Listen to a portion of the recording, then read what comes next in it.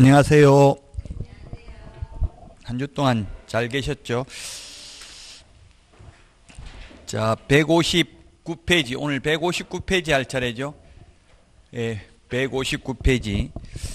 인터넷에 보니까 공인중개사법이 최고 어렵다, 짜증난다, 이런 분들도 많이 계시긴 하더라고요. 그 단순히 뭐 암기하는 게 많아가지고 이해는 잘 하는데 암기는 못하겠다 이런 분도 많이 계시긴 해요. 사실 공인중개사법이 약간 암기해야 되는 게 많이 있기는 합니다. 어쩔 수 없이 특성이, 과목의 특성이 2차 과목은 대체로 근데 암기하는 게 많습니다. 1차보다는 과목의 특징이. 그래서 특별히 기초는 필요 없고 계속 고통받다 보면 10월 31일 가슴 벅찬 희열을 느끼게 됩니다. 근데 응시자 중에는 33만 명이 접수해가지고 2차 시험까지 8만 명 밖에 보러 안 갑니다. 60% 이상이 중도에 탈락을 하게 됩니다. 또 지금은 안 하다가 나중에 모의고사 보고 점수 안 나오면 다 포기하고 그렇게 하거든요. 2차를. 여러분들은 절대로 그렇게 중도에 포기하는 낙오자가 되지 않기를 희망합니다. 60점만 받으면 됩니다. 일부러 모의고사는 점수 안 나오게 냅니다. 점수 다 잘 나와버리면 교만해서 공부를 안 하죠. 그래서 지금 내드린 문제 이게 다 기출 문제입니다. 그래서 그렇게 기출 문제는 그렇게 어렵지 않아요. 근데 약간 말장난은 좀 심하기는 한 경우도 있습니다. 어, 내드린 게 다 기출 문제니까 이달에 내드리는 거는 그 요 정도 수준이니까 실제 80% 이상 기출 문제 범위 내에서 나온다고 보면 돼요. 그 10문제씩 내드리니까 오늘 풀어보시고 문제 버리면 됩니다. 이거 다음에 하려고 아끼다 보면 할 수가 없죠. 자, 그러면 159페이지 개시 의무 보겠습니다. 개시 의무는 보기 쉬운 곳에 게시를 해야 됩니다. 보존하는 것과 차이가 있습니다. 보존은 보이지 않는 곳에 책상 서랍에 보존해도 되죠. 계약서 5년 보존, 확인 설명서, 전속 중개 계약서 3년 보존. 보존은 책상 서랍에 보존해도 되지만 게시는 보기 쉬운 곳에 게시해야 됩니다. 보기 쉬운 곳에 게시해야 되는데 게시해야 될 게 등수 보자 4개입니다. 중개사무소 개설 등록증 원본, 중개보수율표, 보정설정 증명서류, 자격증 원본입니다. 소속 공인중개사가 있을 경우에 소속 공인중개사 자격증 원본도 게시해야 됩니다. 소속 공인중개사 자격증 게시 안 하면 소속 공인중개사가 처벌받는 게 아니라 개업 공인중개사가 처벌받습니다. 100만 원 이하의 과태료입니다. 양가로 3번 위반 시. 자, 그래서 우리 교과서 양가로 2번에 있는 거하고 지금 순서가 3번, 4번 순서가 바뀌었죠. 보자. 순서가 바뀌었는데 제 암기 방식에 의해서 그냥 보정 설정을 3번으로 했습니다. 몇 등 했는지 등수 보자. 자, 그 밑에 159페이지 기출 문제가 나와 있는데 답이 1번인데 사업자 등록증 원본도 게시는 해놨습니다. 사무소에 가면. 근데 그건 세법상 부가가치세법, 법인세법, 소득세법상 게시할 의무가 있는 거지 공인중개사법상 의무는 아닙니다. 또 시험에 틀린 지문으로 나왔던 게 실무교육 수료증 원본, 협회 회원 가입 증명서, 부동산 거래 정보만 가입 확인서 이런 거 게시할 의무는 없습니다. 몇 등 했는지 등수 보자. 이 등록증은 중개사무소 등록증을 말합니다. 사업자 등록증은 세법상 의무이지 공인중개사법상 의무는 아니다. 그래서 1번이 답이 되겠습니다. 사실 그 이런 거 게시해야 되는 게 암기해야지 이거 참 이해하기는 어려운 부분입니다. 그래서 2차 과목이 이제 암기하는 걸 못하는 분은 어려울 수 있는데 이게 암기가 우리 말하는 거 언어도 이거 다 암기입니다. 어떻게 보면 이게 특별히 무슨 의미가 있는 게 아니잖아요. 사람들이 쓰다 보니까 역사성, 사회성이 있으면 그게 말이 되는 거죠. 어째 슈퍼맨이 돌아왔다 그 보니까 애 말 이제 잘하더라고 못하던 애들도 갑자기 말문이 튀더라고요.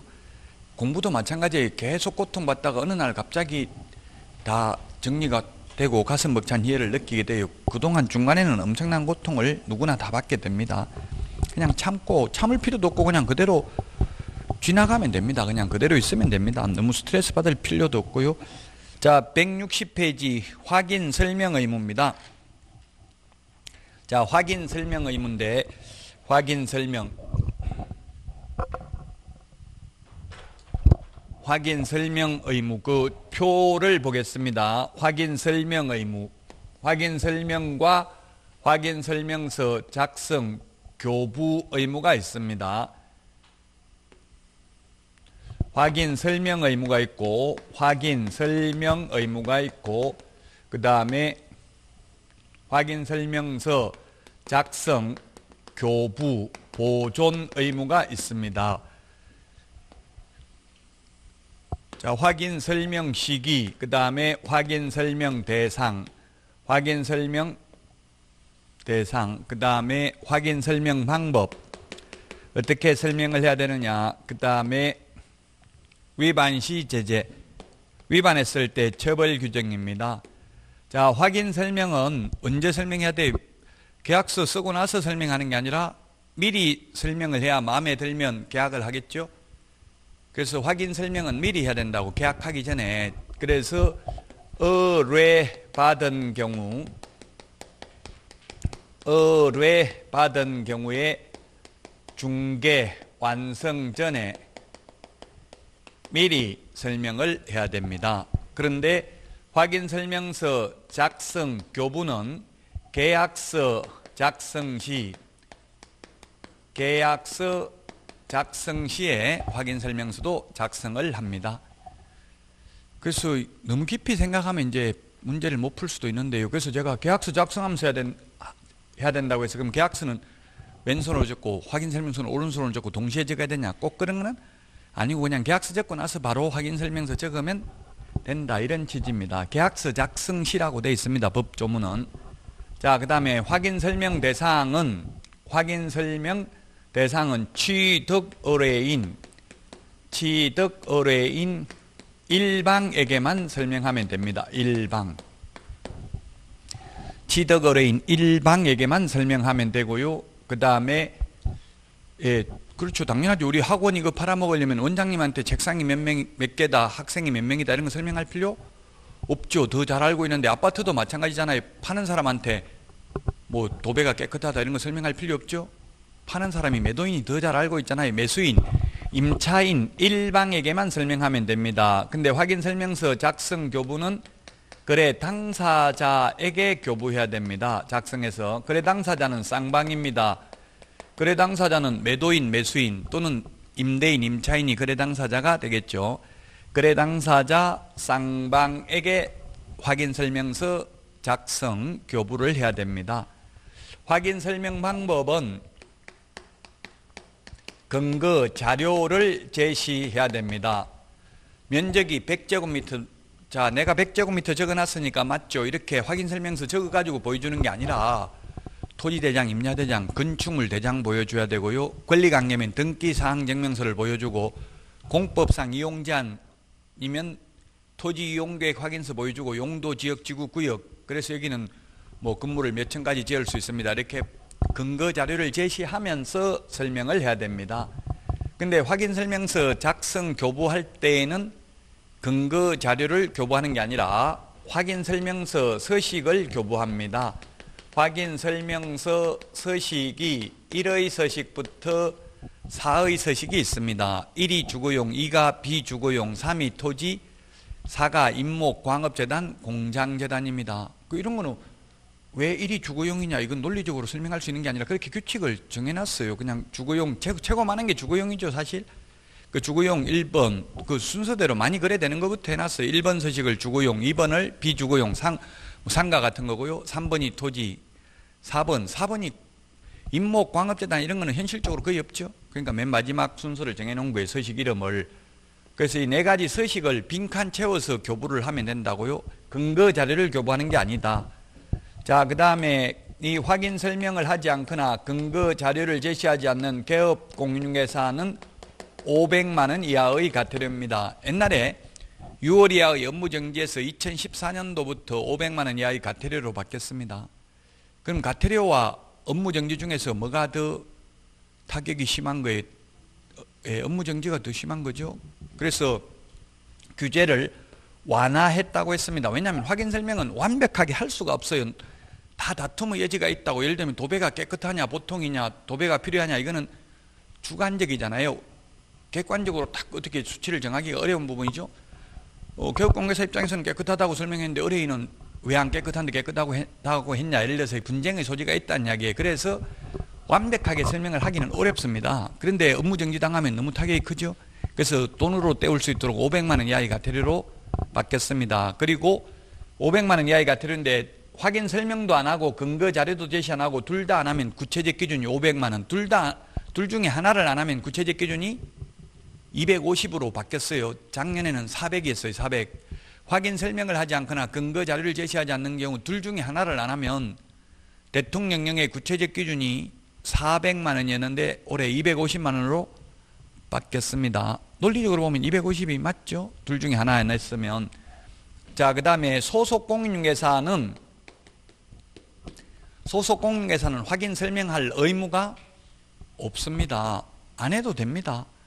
안 해도 되는데 중개업무를 할 수 있습니다. 할 수도 있습니다. 안 해, 할 의무는 없는데 하고 싶으면 할 수는 있다고요. 단 안 해도 되는데 하면서 잘못 설명하거나 근거 자료를 제시 안 하면 자격 정지 사유입니다. 꼭 설명을 해야 되는 건 아닙니다. 할 의무가 있는 것은 아니다. 그 우리 프린터 31번 31번 프린터 맨 마지막 별표에 보면 까만 별표 3번에 보면 31번 개공만 개공만 해당되는 게 그게 확인 설명, 확인 설명서 작성, 계약서 작성 이런 게 있죠. 이 개공에게만 의무가 있다는 이야기입니다. 물론 소속 공개사도 확인 설명하거나 확인 설명서 작성, 계약서 작성을 할 수는 있습니다. 자, 그 다음에 계약서 작성 교부를 하지 않는 개업 공인중개사는 업무 정지 사유입니다. 업무 정지 사유. 이거는 명백하잖아요. 작성 교부 보존하는 거는 딱 명백하게 했는지 안 했는지 판단할 수 있기 때문에 업무 정지입니다. 안 하면. 근데 확인 설명은 굉장히 애매하다는 이야기입니다. 다툼의 여지가 있기 때문에 좀 완화를 했고요. 이거는 그대로 업무 정지입니다. 작성 교부하지 않거나 또는 3년간 보존하지 않거나 서명 날인하지 않는 경우 모두 업무 정지입니다. 그 다음에 소속 공인중개사는 소속 공인중개사는 계약서 작성 교부 보존할 의무가 없습니다. 자, 그러면 이제 확인 설명 우리 교과서 160페이지 메뉴의 표를 봤습니다.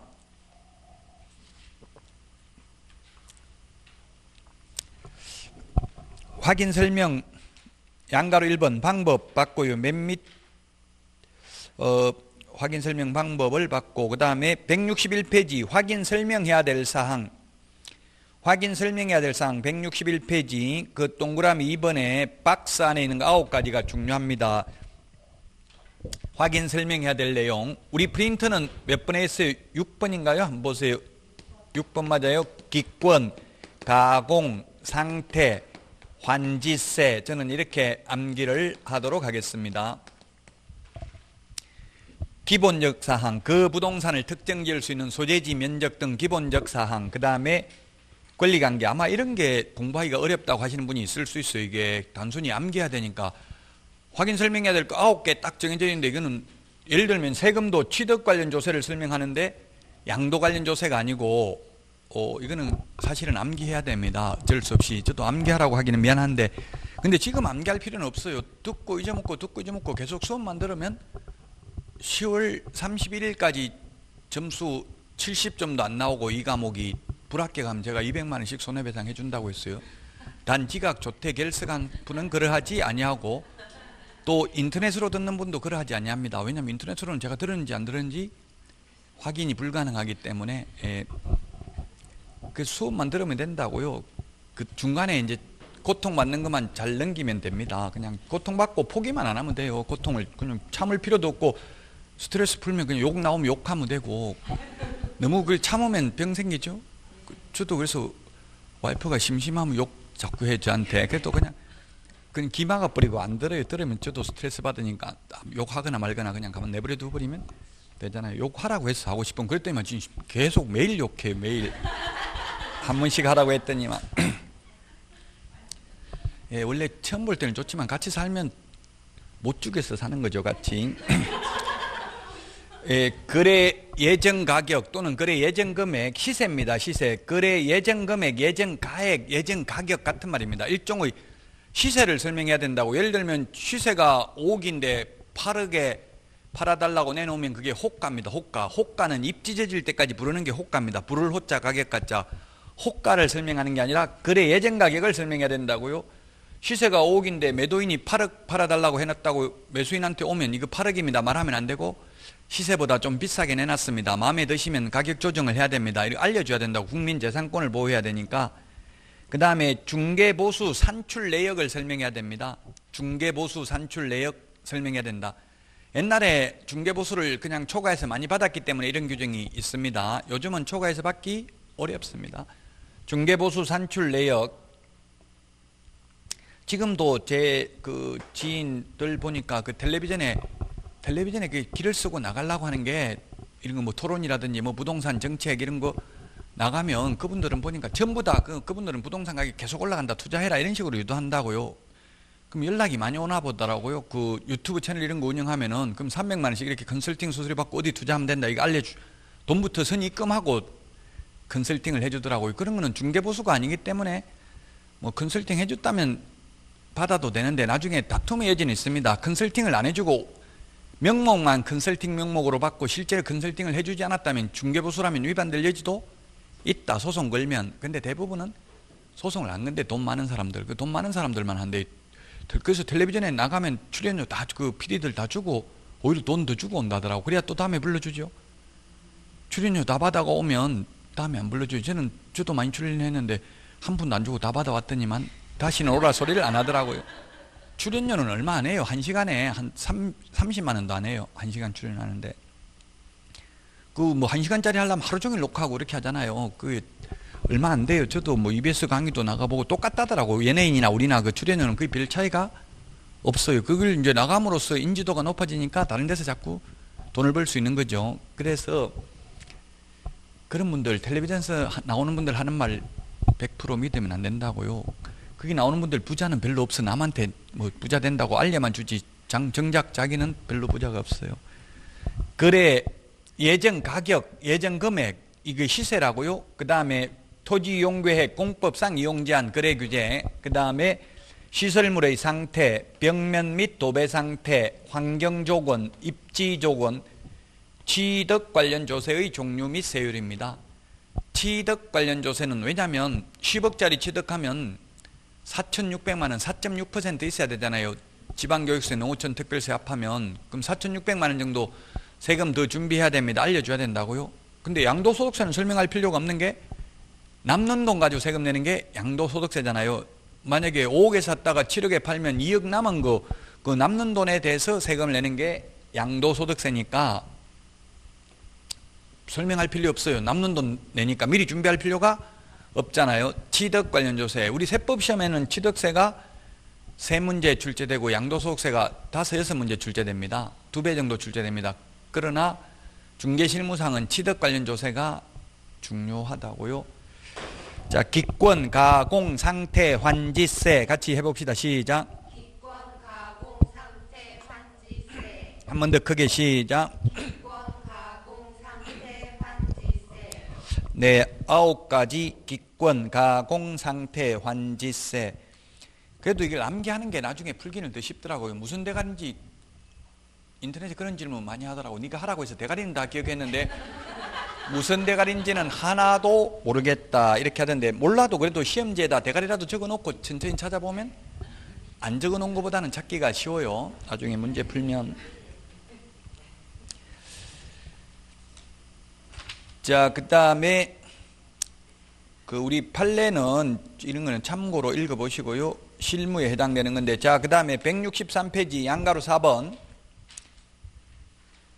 이 판례 공인중개사법 판례는 그냥 참고, 그 상식적으로 생각해 보면 알아요. 어느 정도 설명해야 되는지 예, 상, 참고로 아, 상식적으로 판단해 보면 충분히 알 수 있는 부분입니다. 자, 그 다음에 양가로 4번입니다. 개업공개사의 자료 요구입니다. 자료 요구. 양가로 4번에 동그라미 1번. 자료 요구는 누구한테 하겠어요? 매도 임대 의뢰인 밑줄 치십시오. 매도 임대 의뢰인 163페이지 양가로 4번 첫 번째 줄 매도 임대 의뢰인 시험에 매수 임차 의뢰인에게 자료 요구할 수 있다 X죠. 매수 임차 의뢰인이 모르잖아요. 아직 뭐 들어가 살지도 않는데 어떻게 그 상태를 알겠어요. 그래서 거래 당사자에게 자료 요구한다는 말도 X입니다. 매도 임대 의뢰인에게 자료 요구할 수 있습니다. 그럼 자료 요구하면 상태에 관한 자료 요구입니다. 상태에 관한 자료 요구. 상태에 관한 자료 요구입니다. 자료 요구는 상태와 관련된 자료를 요구할 수 있습니다. 자료 요구에 반드시 응해야 된다, 불응해도 된다? 예, 164페이지 세 번째 줄에 불응해도 됩니다. 네 번째 줄에 불응하면 그 취지를 매수, 임차 의뢰인에게 설명하거나가 아니라 설명하고 우리 책에 하고를 강조해놨잖아요. 시험에 하거나 이렇게 출제됐어 X로. 설명도 하고 기재도 해야 된다. 이 법을 만든 사람도 실제 중견물을 실무에서 해보지는 않은 사람이 만든 거예요. 그러다 보니까 이렇게 돼 있는데 근데 실무에서는 예를 들어서 도배가 깨끗하냐 상태를 물어봤는데 주인한테 주인이 모른다 못 알려주겠다 하면 매수인 임차인에게 주인한테 물어보니까 안 알려줘서 나도 모른다 이렇게 하면 되는데 그러면 계약이 돼요 안 돼요? 현실적으로 계약은 안 되겠죠 어떻게든지 친화력을 발휘해서 알아내야 돼요 그래서 사장님 오빠 이렇게 해서 알아내야 돼요 예, 현실적으로는 근데 예, 남자분들한테는 그냥 오빠 하면 다 좋아해요 근데 여자분한테 누나, 언니 이렇게 하니까 엄청 짜증내도 내가 네 어째 네 누나냐 이렇게 이야기하고요. 그 이모 하니까 내가 뭐 식당 아줌마냐 이렇게 그 여자분들이 부르기가 어려워요. 그 여자분들도 사장님, 회장님 이렇게 불러야 돼요. 요즘은 그냥 여자 뭐 사모님 이렇게 하니까 나 돌돌친인데 사모님 부르지 말라 이렇게 이야기하는 분도 있더라고요. 그래서 공식 그 중립적인 단어 사장님, 회장님 이런 단어가 좋아요. 어쨌든 자료 요구하면 반드시 응해야 되는 건 아니다. 불응해도 되고 불응하면 그 취지를 매수 임차 의뢰인에게 설명하거나가 아니라 설명하고 기재도 해야 된다. 확인 설명 의무 위반 시 제재했는데 그 표를 보시면 164페이지 둘 중에 하나를 안 하면 400만 원을 250으로 고치라고 했죠. 교과서 164페이지 그 확인 설명 위반에 대한 별표 금액 확인 설명하지 않거나 근거 자료 제시하지 않는 경우 하나만 안 하면 250, 둘 다 안 하면 500. 올해 받겠습니다. 250으로.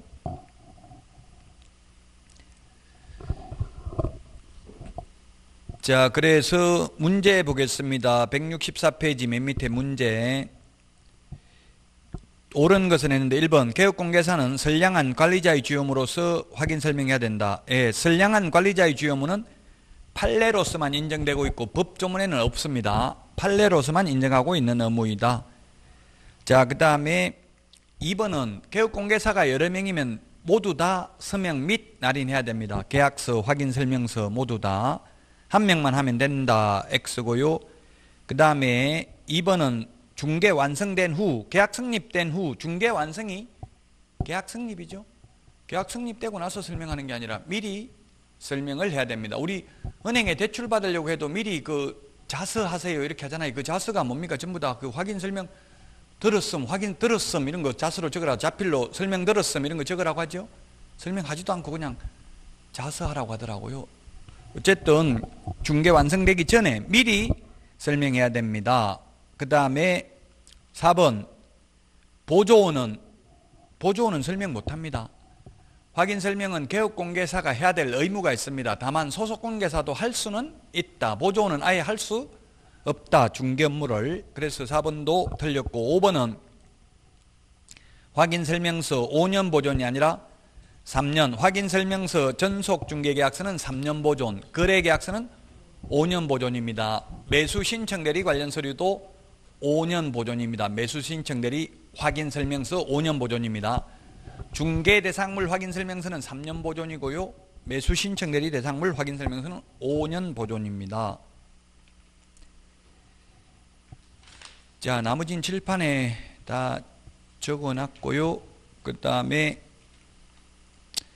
167페이지 맨 밑에 양가로 4번 서명 및 날인 의무입니다. 서명 및 날인 의무. 서명 및 날인 의무. 서명 및 날인 의무가 있는데 밋이라는 것 딱 두 개밖에 없습니다. 서명 및 날인하는 것은 계약서와 거래 계약서와 확인 설명서밖에 없습니다. 그 외의 모든 서식은 공인중개사법상은 전부 서명 또는 날인입니다. 서명 또는 날인, 날인이라고 할 수도 있고 그냥 인이라고 서식에 되어 있는 경우도 있어요. 인이 도장이죠. 그래서 계약서 확인 설명서 빼고는 모두 서명 또는 날인이다. 그러면 누가 서명 및 날인해야 되냐면 개업 공개사가 해야 되고 그 개업 공인중개사가 법인인 경우에는 대표자, 분사무소인 경우에는 책임자가 서명 및 날인을 해야 됩니다. 다만 당의 업무를 수행한 소속 공인중개사가 있을 경우에는 소속 공인중개사도 함께 서명 및 날인할 수 있다. X로 출제됐습니다. 할 수 있는 게 아니라 반드시 해야 됩니다. 당의 업무를 수행했으면 소속 공인중개사가 10명이 있다고 10명 다 서명 및 날인해야 되는 게 아니고 그 업무를 수행한 소속 공인중개사는 서명 및 날인해야 됩니다. 중개 보조원은 서명 및 날인할 의무는 없습니다. 다만 중개 보조원도 개업 공인중개사와 함께 서명 및 날인을 해도 공인중개사법 위반은 아니다라고 두 번 출제됐습니다. 자, 그 다음에 양가로 168페이지 양가로 5번 확인 설명서 쌍방교부 세 번째 줄 3년 보존입니다. 3년 동안 원본, 사본 또는 전자문서를 보존해야 됩니다. 다만 공인 전자문서 센터에 보관된 경우에는 따로 보존할 종이 문서를 출력해서 보존할 필요는 없습니다. 공인 전자문서 센터라는 것은 전자계약서를 작성한 경우를 말합니다. 부동산 거래 전자계약 시스템에 의해서 전자계약서를 인터넷으로 작성했으면 따로 종이계약서, 종이 확인 설명서를 출력해서 보존할 의무는 없습니다. 자, 다 했고요. 확인 설명에 대해서 169페이지 계약서 작성 의무입니다. 자, 계약서 필요적 기재사항 9가지 양가로 1번 이거는 또 암기를 해야 되는 내용이네요. 우리 프린터 9번에 있죠. 프린터 9번에 인물, 인물 계약금, 인물 계약금, 인권 조교 이렇게 같이 인물 계약금, 인권 조교 같이 시작. 한 번 더 크게 시작. 예, 거래 당사자 인적 사항, 물건의 표시, 계약일, 그 밖의 약정 사항. 이 그 밖의 약정 사항이 우리 교과서는 9번 맨 마지막에 있는데 순서 바뀌었어요.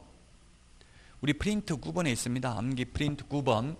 그 다음에 거래 금액, 물건의 인도 일시, 권리 이전 내용, 조건 기한, 확인 설명서, 교부 일자, 인물 계약금, 인권 조교 같이 시작. 예, 민법에서는 반드시 문서로 해야 된다 하면 민법에서는 무조건 X죠. 민법에서는 계약서 반드시 문서로 적을 필요 없습니다. 소위 구두계약도 말로 한 계약도 계약이고 유효하죠. 그러나 공인중개사법상은 물론 말로 구두로 해도 계약은 유효하지만 반드시 계약서를 적어야 됩니다. 서면으로 안 적으면 업무정지입니다. 그리고 계약서는 법정 서식이 없습니다. 조금 전에 했던 확인 설명서는 법정 서식이 있습니다. 계약서는 법정 서식이 없기 때문에 필요적 기재사항 9가지가 반드시 기재되어야 합니다. 예, 필요적 기재사항 그리고 양가로 2번 계약서 쌍방교부 5년 보존입니다. 쌍방교부 5년 보존 우리 책에 책이 잘 돼 있죠. 중요한 거는 다 고딕체로 글씨체를 진하게 해놨습니다. 170페이지 서명 및 날인 의무 똑같습니다.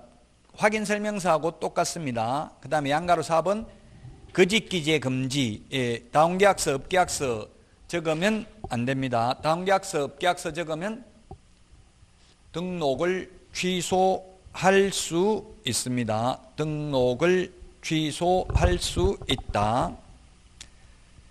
자, 171페이지 문제 보겠습니다. 옳은 것은 했는데 1번 국토교통부 장관이 표준 서식을 정하여 그 사용을 권장할 수 있습니다. 권장하는 사항은 따르지 않아도 처벌 규정은 없죠. 지금 코로나19 때문에 뭐 이게 집회를 완전히 금지하는 건 아니고 하지 말라고 권고하고 있죠. 권고사항은 따르지 않아도 처벌 규정은 없습니다. 권고사항은 예, 처벌 규정은 없습니다. 그래서 지금 뭐 일요일 날 집회를 하더라고요. 권고하고 있기 때문에. 근데 뭐 이게 또 법에 지키라는 걸 안 지키면 처벌 규정이 있나 봐요.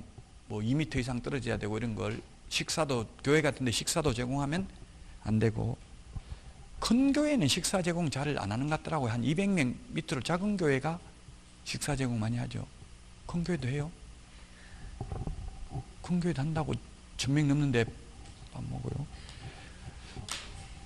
음, 예, 저도 뭐 모든 종교를 제가 다 가봤는데 안 가본 데 갔는데 그 교회도 가봤어요. 그 큰 교회는 가니까 한 3천 명 넘는 데는 가니까 졸고 있고 뭐 와도 일요일만 건성으로 왔다 갔다 해도 별 문제는 없더라고. 근데 조그만한 거 한 일곱 명 되는데 다니까 미치겠더라고. 특강한다고 못 가니까 목사님 전화 와서 빨리 헌금이라도 내라 그러면 지금 사람 몇 명 안 되니까 내가 제가 헌금 안 내면 뭐 교회 돌아가지도 않아요. 월세도 못 내.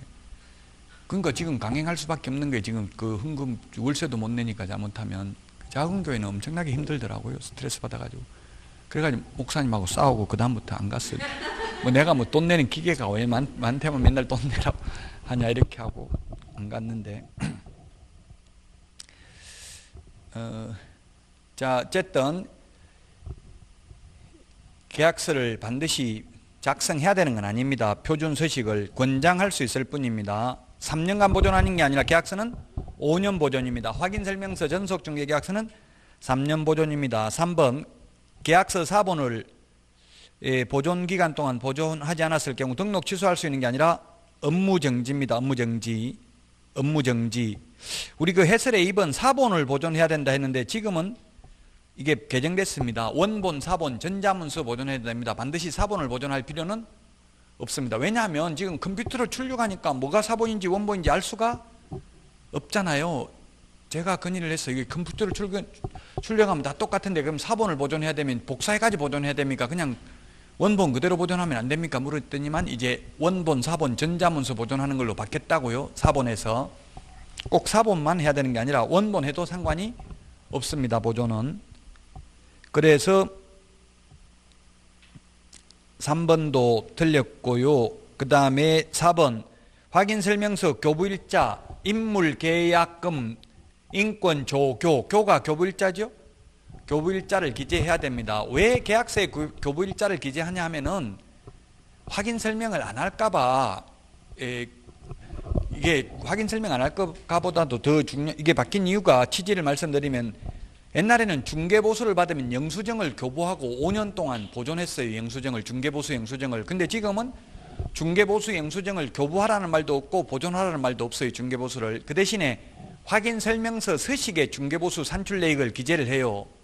그래서 확인 설명서에 기재 안 할까봐 확인 설명서 교부 일자를 계약서에 기재하라고 해놓으면 예, 삼중의 압박을 느끼게 하기 위해서 이제 확인 설명서 교부 일자를 기재하라고 해놨습니다. 그 중개 보수 영수증이 없어지면서 생긴 내용이에요. 그래서 확인 설명서 교부 일자 기재해야 됩니다. 계약서에.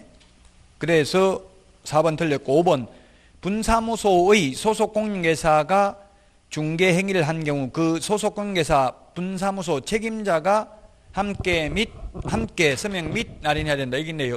분사무소인 경우 책임자와 당해물을 수행한 소속 공개사, 법인인 경우 대표자, 그냥 개인이면 개업 공개사와 당해물을 수행한 소속 공개사가 함께 서명 및 날인하면 될 것입니다. 그래서 답은 5번이 되겠습니다. 5번. 자, 여기까지 확인 설명하고 계약서를 했는데 여기에서 한 문제씩 각각 해서 두 문제가 출제가 됩니다.